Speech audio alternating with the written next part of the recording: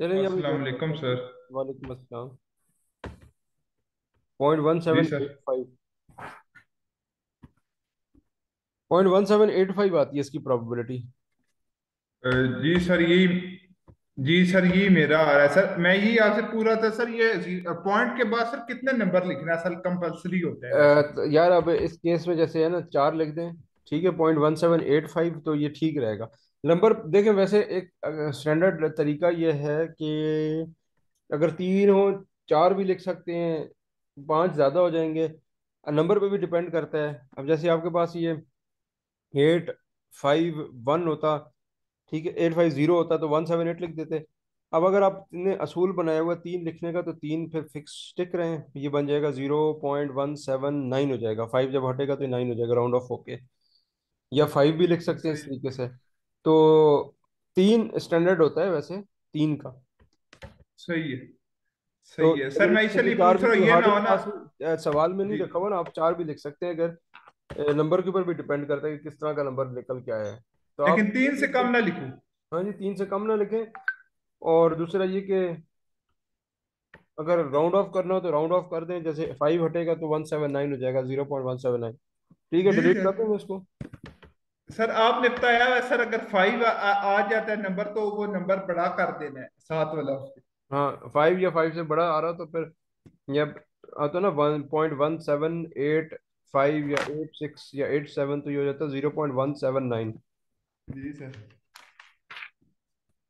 अच्छा अगला आपका जो है वो आठवां सवाल है।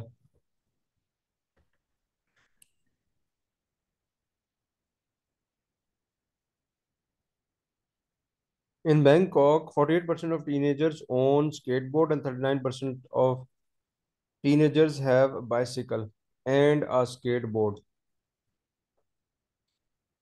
What is the probability that teenagers have bicycle also have skate? What is the probability that teenagers who uh, has a bicycle also has a skateboard?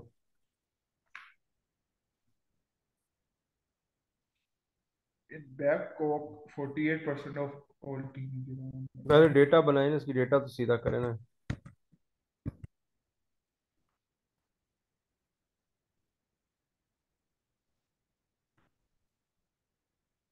अच्छा बैंकॉक वगैरह लिखने की ज़रूरत नहीं कि टीनेजर्स टीनेजर्स हैव स्केटबोर्ड है क्या लिखा हुआ है? सर जी ये लिखा हुआ है एक minute in Bangkok 48% of all teenager on a skateboard ठीक है प्रोबेबिलिटी ऑफ़ ए कितना फोर्टी एट परसेंट है पॉइंट फोर एट लिख दिया इसका ठीक है? अच्छा अगली बात क्या लिखी हुई है? परसेंटेज में सर लिखा होगा तो हम उसे हमेशा हंड्रेड से डिवाइड कर देंगे। जी जी तो प्रोबेबिलिटी बना दें। अच्छा आगे क्या कहते हैं? And thirty nine percent of all teenagers have a bicycle and a bicycle skateboard and skateboard एक मिनट यार। सर जी एक बात कह सकते हो? जी जी। सर अभी ये टॉपिक नाइन है ना? जी। तो हमने सर मतलब इन दो महीनों में एक टॉपिक आई थिंक जो स्किप किया बाकी सारे हमने आठ टॉपिक मतलब पढ़े हैं ना? आप वो देख लें हिसाब मैंने भी किया नहीं है इसका क्या कितने पढ़े कितने नहीं पढ़े। अच्छा अच्छा। जो जैसे कहते गए मैं कराता तो गया हूँ। टीनेजर्स हैव बाइसिकल जैसे स्टैटिस्टिक्स का जो मैंने खुद से किया हुआ है वो बस नहीं हमने किया ना। हाँ वो मेरा ख्याल है वो अभी करना था इस हफ़्ते में हमने। अच्छा लेकिन वो तो सर मैंने किया है। अच्छा आगे वो क्या कहते हैं टीनेजर्स अब इसको समझने की कोशिश करें कि इसने क्या लिखा है। कि thirty nine percent of all teenagers have a bicycle and a skateboard ठीक है? बाइसिकल एंड अ स्केटबोर्ड तो teenagers have bicycle and skateboard. Skateboard is equal to a intersection B ठीक है? Probability of A intersection B किसके बराबर है? Thirty nine percent point three nine ये data बनाना जो है ना बड़ा ज़रूरी है इससे कुछ सवाल समझ में आता है कि कर है क्या। अब आगे आपसे क्या पूछा है? What is the probability that a teenager who has a bicycle यानी एक चीज़ तय है कि उसके पास बाइसाइकिल है also has a skateboard ये कंडीशनल प्रोबेबिलिटी का केस है। क्या लिखा आपने सर का क्या क्या क्या? Conditional skateboard given that he has a bicycle ये आपने मालूम करनी है। कंडीशनल प्रोबेबिलिटी होती है कि उस पर कंडीशन लगी हुई होती है और आपने प्रोबेबिलिटी निकालनी होती है। ये जो मैंने डैश डाला है ना इसके आगे बी लिखा है। इसका मतलब ये है कि बी वाला काम हो चुका है। इसने सवाल में लिखा है कि what is the probability teenager who has a bicycle मतलब ये है कि टीनेजर के पास बाइसिकल है, इसमें कोई शक नहीं है। Also has a skateboard आपने प्रोबेबिलिटी निकालनी है स्केट बोर्ड है उसके पास कि नहीं? यानी बाइसिकल तो उसके पास है स्केट बोर्ड है कि नहीं, ये प्रोबेबिलिटी निकालनी है। What is the probability that a teenager who has a bicycle what is the probability that a teenager who has a bicycle यानी कंडीशन लगी हुई है इसके ऊपर कि बाइसिकल उसके पास है स्लैश बी आप लिख देंगे। जब कंडीशन लगी होती है ना तो हम इस तरह लिखते हैं स्लैश बी ठीक है। अब इसका एक फॉर्मूला होता है।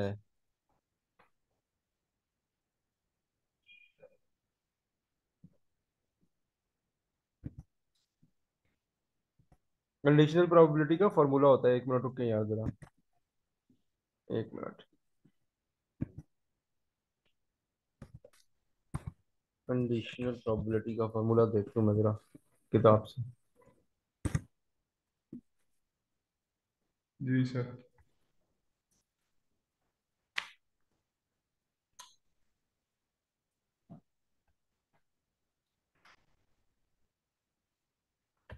ये जो है ना A intersection B multiplied by B ये इसके बराबर होता है, ठीक है?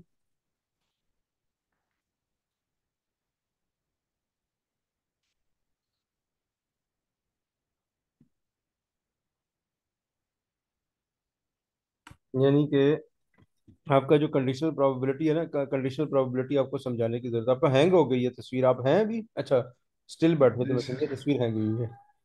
देखिए कंडीशनल प्रोबेबिलिटी आपके लिए एक नई चीज़ है ये सुन लें सीख लें तो उसके बगैर आपको गुजारा नहीं चलेगा।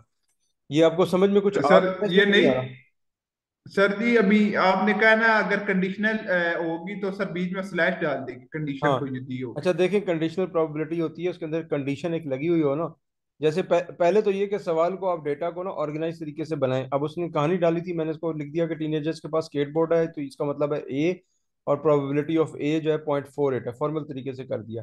फिर अगली बात उसने की कि मैंने खुद से लगाई कि टीनेजर्स है bicycle is equal to B ये बात ना मैंने खुद लगाई है ये सवाल में लिखी हुई नहीं थी। इसकी प्रोबेबिलिटी भी गिवन नहीं है।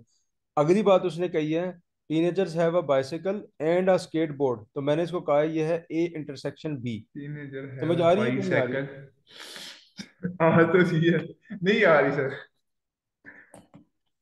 अच्छा वो मैं चले एक्सप्लेन करके बताता हूँ। पहले मैं इस खाते को तो पूरा सीधा करूँ ना ये जो कंडीशनल प्रोबेबिलिटी वाला है। ये है कि बेसिकली सर कंडीशनर कंडीशन जब लगेगी सर ठीक है उस लड़के के पास बाईसाइकिल है। आपने मालूम करना है स्केट बोर्ड भी उसके पास है या नहीं है। हाँ ये मालूम करना है ना। देखें ये इसके बराबर है। और ये चीज़ फर्दर जो होती है ना अब ये कंडीशनल प्रोबेबिलिटी का एक और फार्मूला होता है B given A probability of A अच्छा ये कंडीशनर का फॉर्मूला सर आपने बताया P A N B bracket नीचे पी बी ये है ना? हम्म एक यार ये कंडीशनर का मतलब ये फॉर फॉर्मूला एक मिनट ये जो है ना अ, क्या कहते हैं क्या कहते हैं ये नहीं लगेगा आपका प्रोबेबिलिटी ऑफ़ बी जो है B given A B given A आपके पास है नहीं है। ए गिव इससे सवाल में डेटा भी पूरी नहीं दी हुई आपको यार। एक मिनट रुकिए जरा।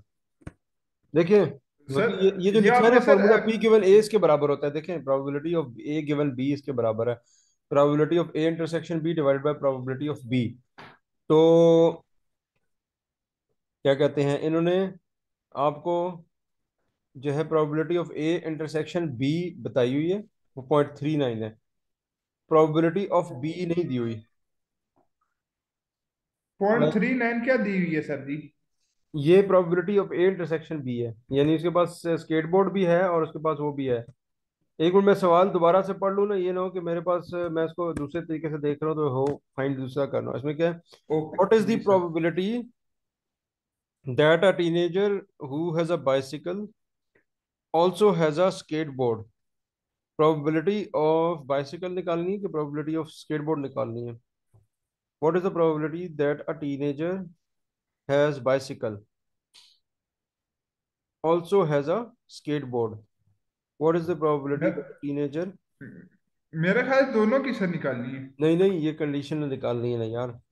इसने एक बात आपको कही है कि जो टीनेजर जो आपका है ना क्या कहते हैं जिसके पास स्केटबोर्ड है वो उसको आप ए कह रहे हैं और probability of A point four eight है।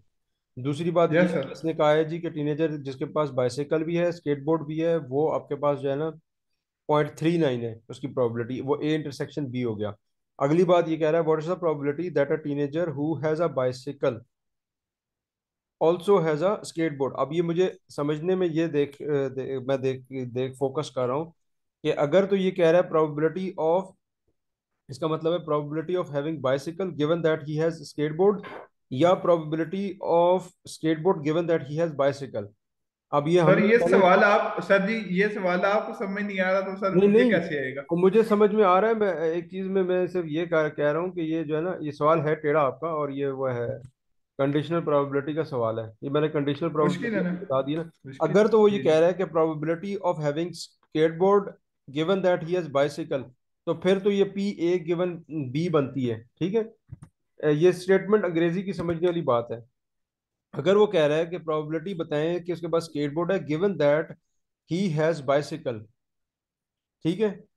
कि आप स्केटबोर्ड होने की प्रोबेबिलिटी बताएँ कि ये तय है कि उसके पास बाइसिकल है तो उसकी तो बी ए गिवन बी हो जाएगी। ये जो ए स्लैश बी लिखा हुआ है। अगर वो कह रहा है कि प्रोबेबिलिटी ऑफ़ हैविंग बाइसिकल निकालें given that he also has skateboard जो कि हाँ ये बन रही है ना ये इसने पूछा हमसे है probability of B given A ये पूछा है कि probability of having bicycle given that he has skateboard A sir आपने किस क्या लिखा हुआ है सर? ए कहाँ पे? ए सर किसकी जगह आपने लिखा हुआ है? ए कहाँ पे? बी ये इधर? सर ए जी जी ये ब्रैकेट के अंदर ए किस चीज़ को रिप्रेजेंट कर रहा है बेसिकली रिप्रेजेंट कर रहा है कि उसके पास स्केटबोर्ड है। ये मैंने खुद ही ए का ए का कॉन्सेप्ट खुद मैं ए मैंने खुद से डाला है बीच में मतलब मैंने नाम सही है। और B for bicycle B bicycle है तो वो इवेंट है बी दोनों हैं A intersection B point three nine उसकी प्रोबेबिलिटी है। अब वो ये कह रहा है पूछ रहा है आपसे सवाल में देखें सवाल पॉइंट थ्री उसने नाइन उसने सवाल पॉइंट थ्री नाइन कैसे है? कौन सा ना ये सवाल में गिवन है ना पॉइंट थ्री नाइन के। स्केटबोर्ड भी बाइसिकल दोनों है उसके पास।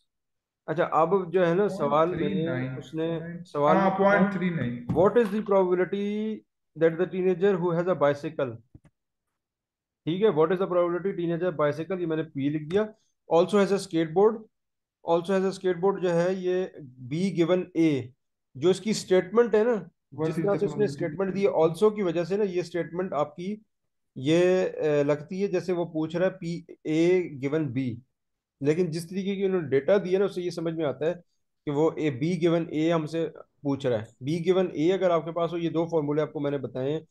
ए गिवन बी अगर बी गिवन ए है तो उसका ये फॉर्मूला है probability of B intersection A divided by probability of A ठीक है इससे तो ये सॉल्व हो जाएगा आपका। ये हो जाएगा सर प्रोबेबिलिटी जी।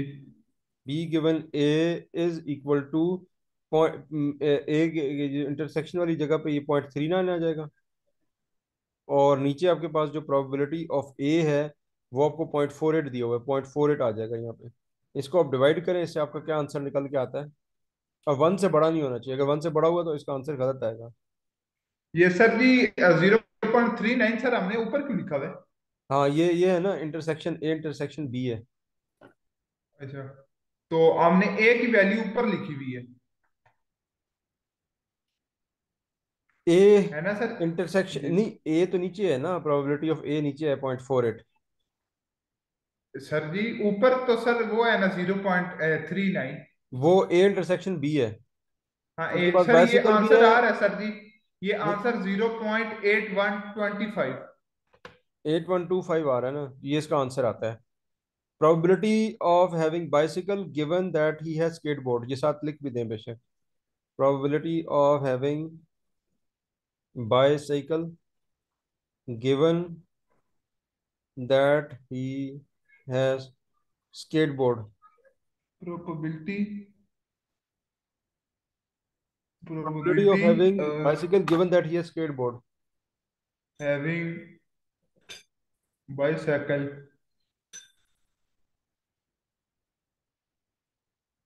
एक मिनट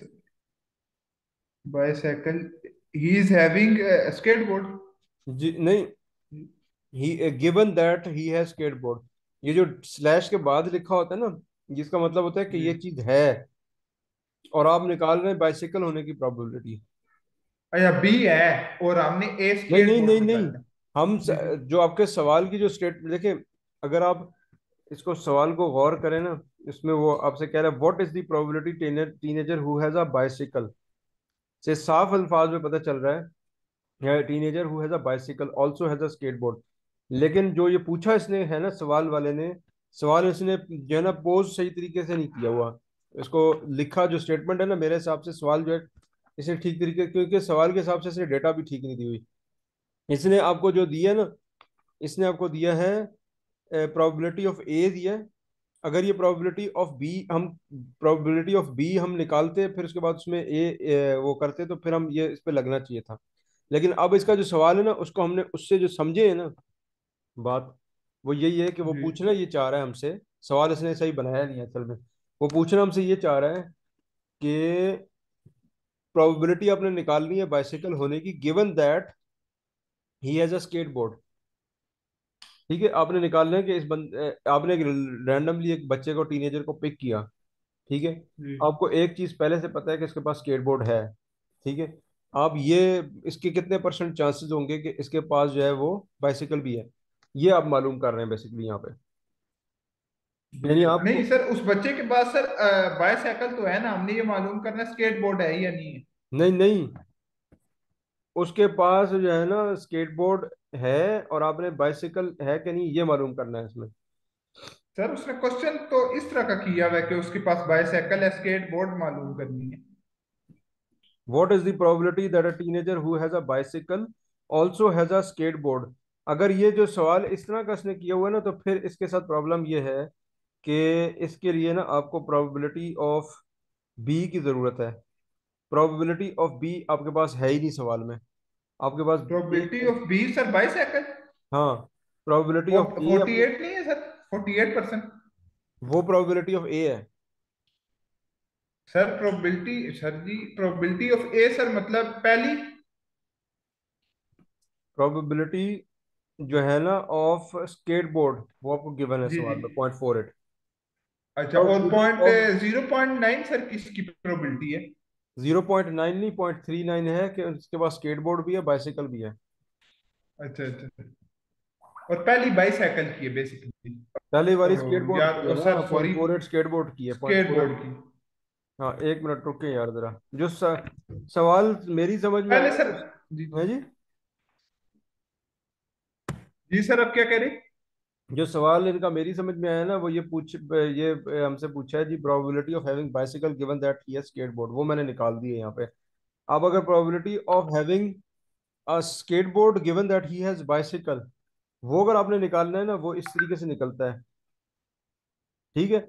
इसके अंदर फॉर्मूले के अंदर लगेगा आपका, ये प्रोबेबिलिटी ऑफ़ बी एल नज़र आ रहा है ना ऊपर कोने पे। अब ये आपके पास नहीं है। एक मिनट, सर जी। एक मिनट सर।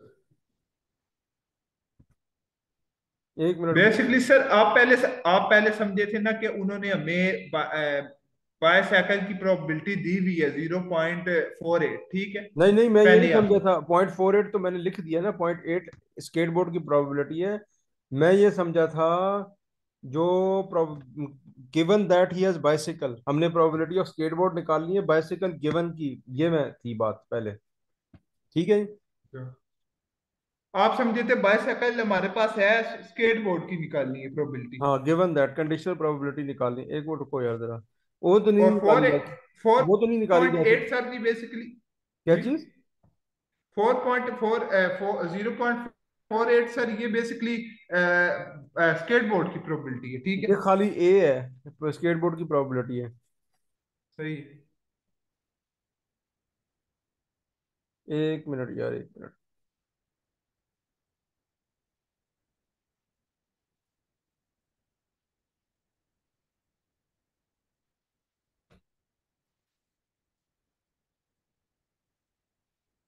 एक मिनट यार, मैं इसको दोबारा से भी देखूँ ना जरा।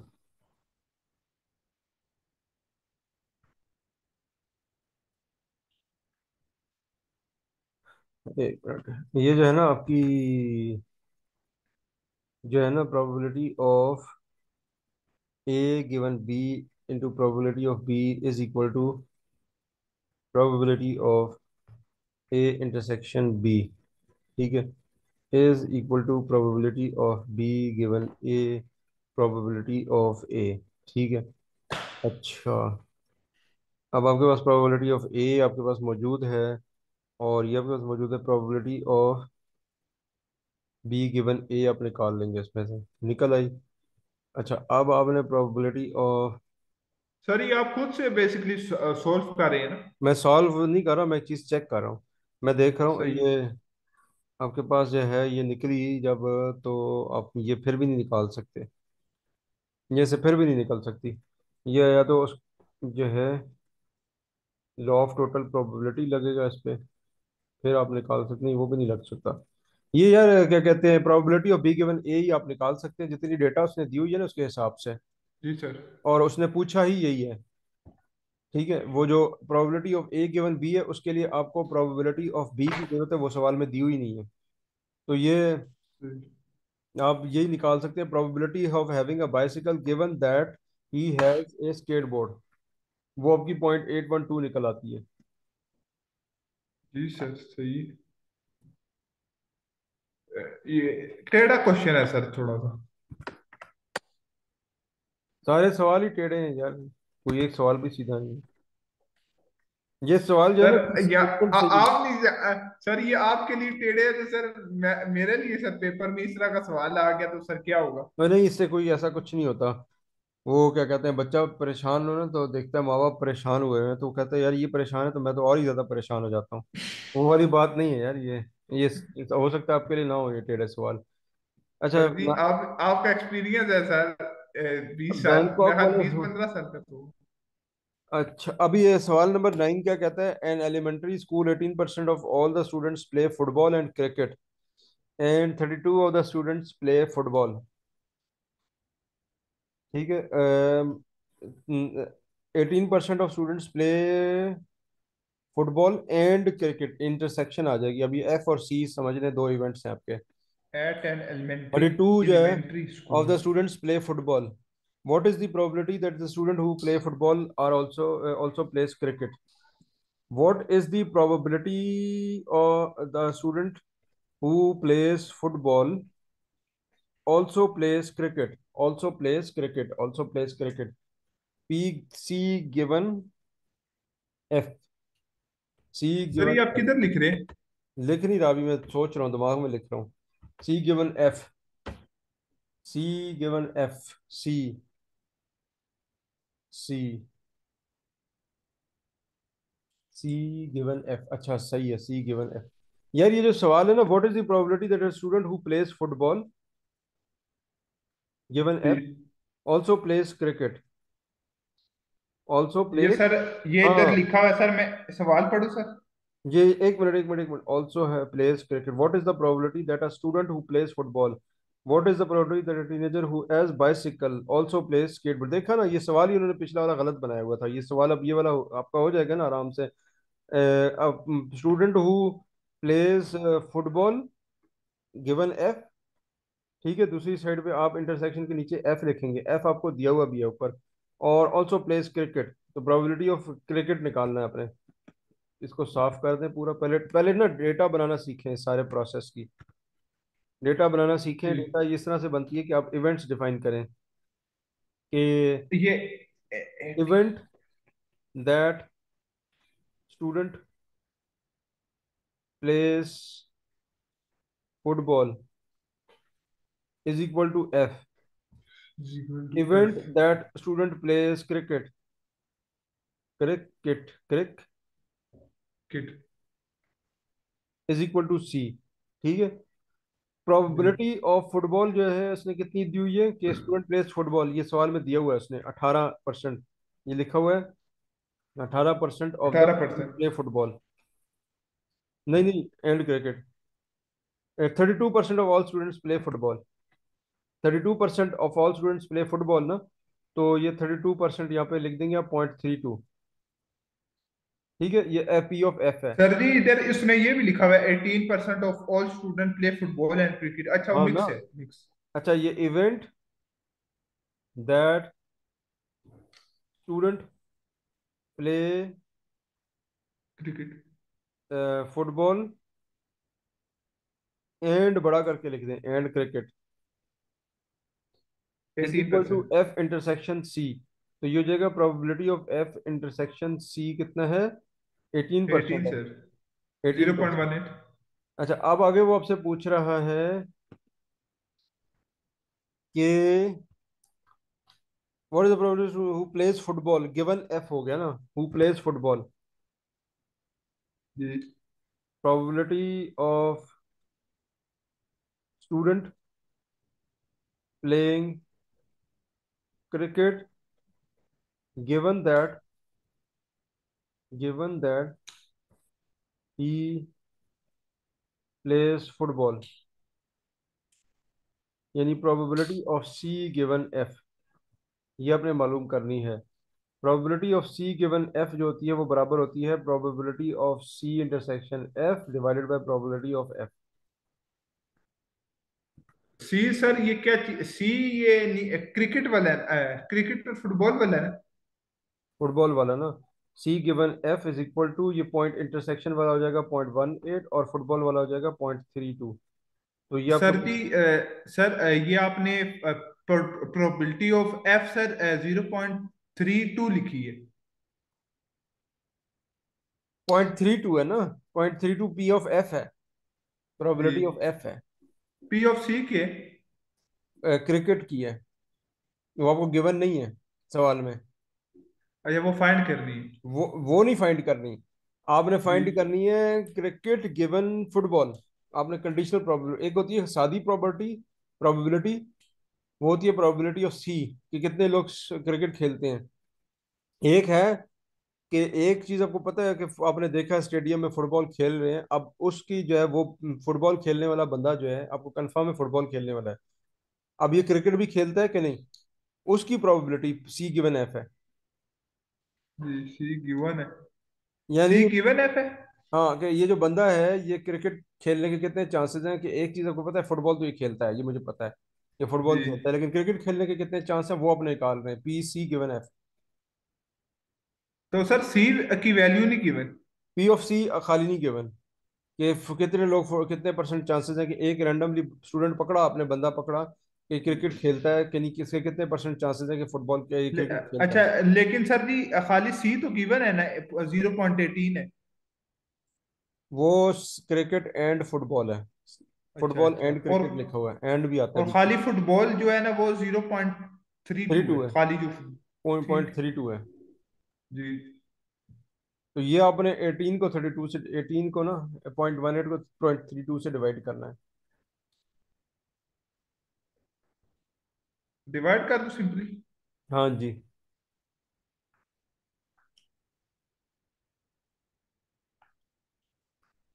सर जी ये zero point five six two five है फाइव सिक्स टू फाइव ना two two three zero point six point five six three. जी सर। ये इसका आंसर बनता है।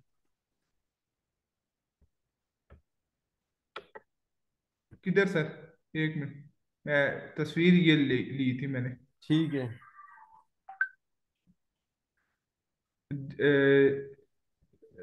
ये लिख लूँ सर? जी जी।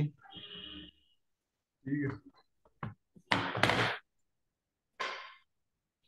आपका ये लाइन भी कटने वाली दस मिनट में। सर, अब सर जी, बस मैं लिख ले।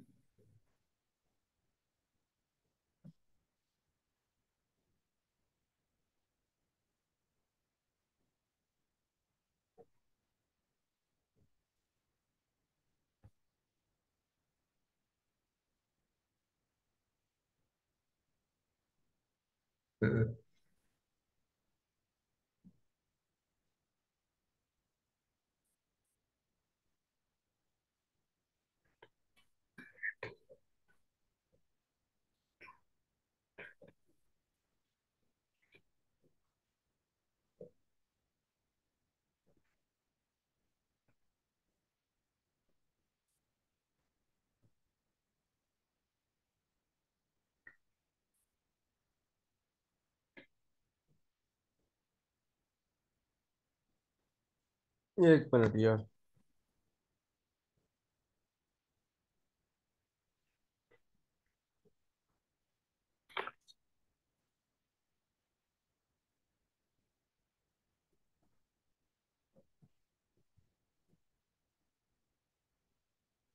अच्छा जी। ये डिलीट कर दूँ मैं? सर, एक मिनट सर, बस ये डेटा लिख ले तो खाली।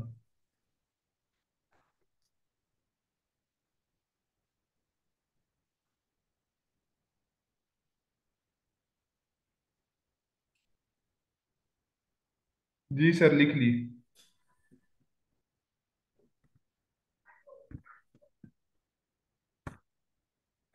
अच्छा जी अभी। अच्छा अगला सवाल आपका है यूनाइटेड स्टेट्स वाला के in United States 56% of all the children get allowance loan कह रही है ना? Loan sir basically allowance loan तो नहीं अलाउंस कह रहे हैं कि पैसे मिलते हैं। अच्छा अच्छा वो जो सर जी वो बच्चा मेरे ख्याल से जब पेरेंट्स वगैरह कुछ तरह हो जाए गवर्नमेंट उनका खर्चा उठाती है। अगर क्या हो जाए? गवर्नमेंट खर्चा उठाती है सर बात सुने अगर बच्चों। क्या हो तो। सर मेरे ख्याल से पेरेंट्स वगैरह मर वगैरह ये बच्चे के ठीक है? या सर बंदा नौकरी नौकरी भी ना सर उसके पास हो यार कोरोना के टाइम ज़बरदस्त है पाकिस्तान के अंदर जो है कोई पूछना ही नहीं है यहाँ पे हमें। बच्चों जी आपको तो सर मेरे ज़्यादा पता होगा सर जी आप सीनियर है सर ऐसी क्या बात है सर? मुझे बचपन से बात लोगों से सुनी है। नहीं मैं ये कह रहा हूँ कि बड़ी बात नहीं है कि उधर अपना आपको सर पता नहीं था सर वैसे? हाँ। जी। पता है ना आपको भी? नहीं मुझे ये बात नहीं पता थी कि यार वहाँ पे अलाउंस मिलते हैं कि अगर वो जो है वो पेरेंट्स फौत हो जाए बच्चे तो के सर जी मैं। तकरीबन जब से पैदा हूँ सर ये बात सुन रहा हूँ सर। बहुत अच्छा चिल्ड्रन गेट अलाउंस को आप लिख दें allowance is equal to A ठीक है? और children do household chores वैसे मुफ़्त में अलाउंस नहीं देते होंगे इनसे काम भी करवाते होंगे। नहीं सर अलाउंस तो अलाउंस तो सर मुफ़्त में देते हैं सर। इसीलिए तो सर अब कोरोना के दिनों में वबा आई ना अमेरिका वगैरह में तो सर ज़्यादातर लोगों को अलाउंस दिए थे। अभी इसीलिए बिज़नेस अमेरिका वगैरह की नेशनैलिटी देखे ना खासकर कनाडा की मुफ़्त में भी देते हैं नेशनैलिटी इसी वजह से सर उनकी जो अपनी वर्क फोर्स है ना सर वो घर बैठ के आराम सर अलाउंस लेते हैं। तो इसीलिए पाकिस्तान उनकी नेशनैलिटी सर वो कहते हैं लोग अब इधर आके काम करे सर ज़्यादा। क्योंकि सर अब उनके आराम से अलाउंस क्यों सर मिल जाता अच्छा अच्छा। उधर के लोगों को। अच्छा 56 of the children get allowance and 41 of the children get allowance and do household how household chores 50 41% of the children get an allowance and do household chores get an allowance and do household chores अब ये intersection वाला बन रहा है इसका अच्छा एक minute अ, ये आपकी जो ए है ना प्रोबेबिलिटी ऑफ ए अलाउंस के कितने लोगों को अलाउंस मिलता है? इसमें क्या लिखा हुआ है? सर ये अलाउंस लिखा हुआ in in the United State 56% of all children get an allowance तो 56% ठीक है तो पी हो गया ये वाला ठीक है? अच्छा अगला वो कहता है कि they get an allowance and do house and do household chore लिखा हुआ है ना? चोर्स तो वो आपके पास हो जाएगा। ये कैसा चोर्स क्या क्या मतलब है सर बेसिकली घर के मतलब तो यही बनता है घर के काम करना छोटे मोटे जी। ये कितने बन जाता है? फोर्टी वन परसेंट ना पॉइंट फोर वन जी सर। आगे आपसे पूछा उसने क्या है? आगे सर पूछा तो सर उसने ये what is the What is the probability that a child does household chores given that he has allowance? ठीक है? तो अलाउंस एक मिनट यार ये डिस्टरबेंस आ गई थी बीच में इसकी वजह से। अच्छा ये क्या कह रहे हैं कि डज हाउस तो household chores household chores वो कर रहा है given that he is given in allowance ये आपने मालूम करनी है। ठीक है जी ये sir. H give A is equal to probability of A intersection H divided by probability of A शुक्र अब देखो उसने ए दिया हुआ ना हम इसको निकाल सकते हैं। यह आ जाएगा point four one divided by point five six sir उसने क्या गिवन है? एक गिवन है? हाँ क्या अलाउंस वाला गिवन है? और household chore and allowance दोनों का जो है ना वो पॉइंट फोर वन परसेंट है। और जब आप उसको डिवाइड करते हैं तो एच एच गिवन ए आ जाती है। हाउस होल्ड चोर्स और किसका सर ज़ीरो पॉइंट सवाल में सवाल में लिखा हुआ है what is the probability that he does household chores given that he gets allowance यानी slash A given that A A हम अलाउंस को कह रहे हैं। और ये एच आपने एक लिखा हुआ है ना ए और चोर्स करने को एच कह रहे हैं। हम बस आपकी लाइन कटने वाली इसका आंसर जल्दी से निकाल के बता दें मुझे। Point four one divide by point five six divide कर दूँ? हाँ जी। ये छोटा नंबर सर हमेशा ऊपर लिखते हैं ना डिवाइड करने के लिए। बड़ा नंबर नीचे। जो नहीं नहीं जो भी बड़ा नंबर नीचे नहीं ऊपर मतलब ये है कि आपका छोटा ही ऊपर होना चाहिए प्रोबेबिलिटी वन से छोटी होती है। Point four point zero seven three two आ रहा है sir answer point zero seven three two जी। पॉइंट सेवन थ्री टू ये आंसर आ रहा है इसका ठीक है। जी। इसका मतलब ये है कि किसी एक ऐसे बच्चे को अगर आप पिक करें और ये आपको पता हो कि उसको अलाउंस मिल रहा है तो उसके घर के काम करने के चांसेस जो है वो सेवेंटी थ्री परसेंट होंगे सर आप क्या कह रहे हैं बेसिकली सर बताएँ एक दफ़ा घर के मैंने क्या कहा कि इस इस प्रोबेबिलिटी का मतलब ये बनता है आप एक रैंडमली बच्चा अमेरिका में पिक करें ऐसा जिसको अलाउंस मिल रहा है घर के काम भी करता है। और आपको ये पता है कि भाई इसको अलाउंस मिल रहा है। अब कितने परसेंट चांसेस हैं कि ये घर के काम भी करता होगा? वो है सेवेंटी थ्री परसेंट चांसेस यानी सौ बच्चे अगर मिसाल के तौर पे आप रैंडमली पिक करें तो इनमें से सेवेंटी थ्री बच्चे घर के काम भी कर रहे होंगे जो अलाउंस ले रहे हैं जी सर। तो यहाँ पर यार ये एंड करते हैं। तो आपने पता है सारी पिछली एक्टिविटीज़ के अलावा ना आपने क्या करना है कि परमिटेशन और कॉम्बिनेशन हाँ वो सारी जितनी हमने एक्टिविटीज़ की हैं वो और ये जो एक्सरसाइज आपकी है ना सवाल नंबर दस तक। ये मुझे पहले तो आप मुझे सवाल वन से टेन वाले जमा कराना पॉल नंबर वन फ़ाइल जो चेक करवानी होगी। और ये वाली sir ji exercise number one ये जो इसी के सारे एक्टिविटी सारे इसके सवाल है वो सोल्व करूँ एक्सरसाइज वन के सवाल वन से टेन तक पहले मुझे चेक करवाएँ और नंबर टू फ़ाइल जो आप भेजेंगे ना वो पिछली एक्टिविटीज़ जो है ना प्रोबेबिलिटी वाली तीन एक्टिविटीज़ वो इकट्ठी एक, एक सिंगल फ़ाइल बना के भेज दें। सर नहीं वो तो आपको कुछ चीज़ें मैंने सेंड की भी थी सर। चले मैं दोबारा आपने कहा था ना आपने कहा था कि प्रोबेबिलिटी आपने नहीं की। वो मेरे से काफ़ी सारी चीज़ें चेक नहीं नहीं। करवाई तो वो आप चेक करवा लें। जो मिसिंग है ना उसमें से वो चेक करवा ठीक है। कोई नहीं सर मैं करा दूँगा। आप चेक करेंगे जो मिसिंग है ना मैं पहले चेक नहीं करता क्या यार? किस तरह की नहीं बात नहीं सर, ऐसी भी बात नहीं है सर। आप पेपर चल सर चेक कर लीजिएगा सर पेपर में चेक करने पे मेरा फोकस तो है लेकिन मैं ये कह रहा था चलें आप अभी इस वाली एक्सरसाइज के दस सवाल भेजें ये तो मैं लाजमन चेक करूँ। चीज़ें पाइल अप इतनी कर दी आपने कि वो मैं मैं कर ही नहीं सक रहा चेक कि सर जी वो बस सर आखिरी दिन रह गया सर मैं बस सर अच्छा ये दस सवाल ये दस सवाल पहले चेक करवाएँ फिर पेपर फिर पिछली जो आपकी एक्टिविटीज़ आपने नहीं सेंड की ना वो इस तरह से तरतीब बना रहे ठीक है? जी सर। चलें जी अल्लाह हाफिज सर। अल्लाह हाफिज।